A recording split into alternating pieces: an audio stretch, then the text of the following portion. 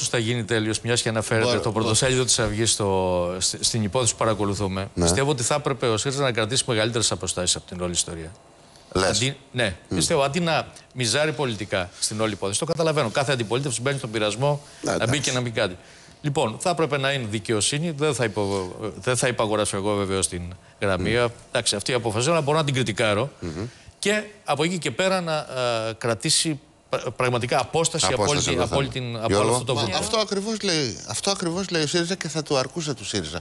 Να ασχοληθεί Δεν λέει μόνο σοβαρά, αυτό, Γιώργο. να ασχοληθεί σοβαρά η, η δικαιοσύνη. Δεν γίνεται μέσα σε μισή εργάσιμη να κλείνουν τόσο σοβαρές υποθέσεις. Δηλαδή, χάνεται και η εμπιστοσύνη του πολίτη στη δικαιοσύνη. Αλλά θέλω να πω για Ε, το δεν ξέρω, προηγούμενο καταρχάς λίγο είναι για, σοβαρή υπόθεση, για αλλά τη δεν θα- Φιλαδέλφια. Ναι, για πες. Επειδή υπάρχουν διάφορα πράγματα τώρα. Ε, όλοι θυμόμαστε πριν από δύο-τρει εβδομάδες βγήκαν δύο μεγάλοι παράγοντες της πολιτικής ζωής. Που ένας είναι ιδιοκτήτης ομάδας και του λιμανιού, και ο άλλος είναι ιδιοκτήτης πετρελαϊκών ομάδων και τα ρέστα. Ο ένας είπε τον άλλο συγκρούνται. δολοφόνο Ναι. και ο άλλος είπε τον άλλο λαθρέμπορο ηρωίνης. Ούτε εισαγγελέας έχει επέμβει να τους ρωτήσει τι είναι αυτά που λέτε ρε παιδιά κτλ.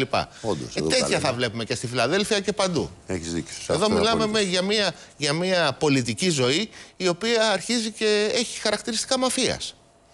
Ατυχώ έχεις δίκιο. Ριζοσπάστης. Ενίσχυση του ΚΚΕ παντού. Μπήκαμε στην προεκλογική περίοδο, όπως βλέπετε, παιδιά.